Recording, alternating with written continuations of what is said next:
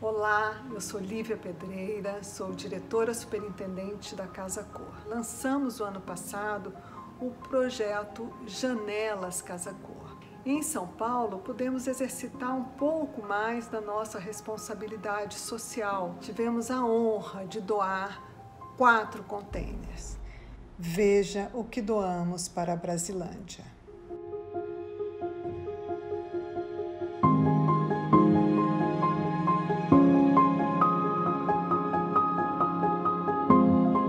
Esse projeto é uma aproximação da Casa Cor com a Faculdade de Arquitetura, Urbanismo e Design do Mackenzie num programa chamado FAO mais D Acolhe, que é uma ação de extensão de alunos, alunas, professoras e professores. E aí com a Casa Cor nós construímos essa ideia de produzir um espaço junto com a comunidade do Tiro ao Pombo, que é uma cozinha comunitária, com o tema da alimentação saudável, justamente porque é ao lado do sacolão e é um sacolão que atende muito toda a população que mora no entorno, na vizinhança e que vai se beneficiar desse projeto.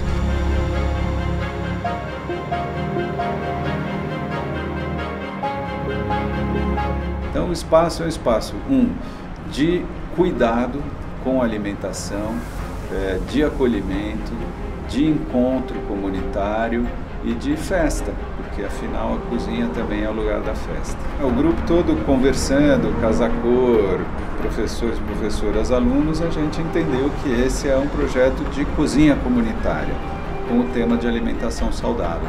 Então é, o nome é o container Cozinha Comunitária do Sacolão Freguesia do Brasilândia.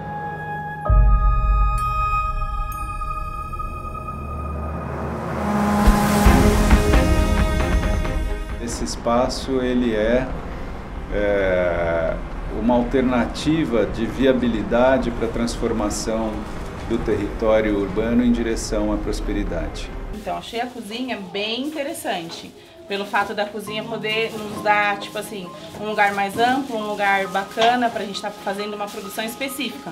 Evento não falta, e agora com a cozinha é melhor ainda, né? Pelo menos a gente já tem um lugar específico para poder fazer tudo que for para a comunidade. Estamos aqui hoje no, no primeiro evento aqui da cozinha né, comunitária, a fabricação de ovos. Porque a gente sempre doa é, ovos de Páscoa na comunidade, mas a gente sempre compra pronto. E fabricando sairia muito mais em conta e muito mais fácil.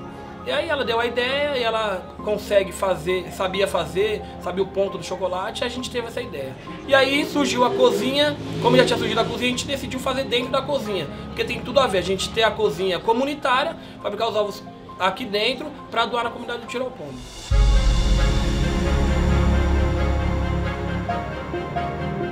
A cozinha apareceu aqui, foi um, um projeto para poder gerar renda para a comunidade. E aí a cozinha é para isso, para fazer um curso e a pessoa poder conseguir ganhar o seu dinheiro. Com a colaboração que vocês puderam dar para nós, acho que tudo se unifica e fica bom. Futuramente a gente pretende fazer curso de culinária mesmo. Já a pessoa aprende a fazer um pão, aprender a fazer um, uns quitutes, aprender a fazer chocolate mesmo, trufas, para poder ter uma, uma, uma, geração de renda, um curso gratuito, para que eles consigam complementar a renda na sua casa e ajudar a sua família.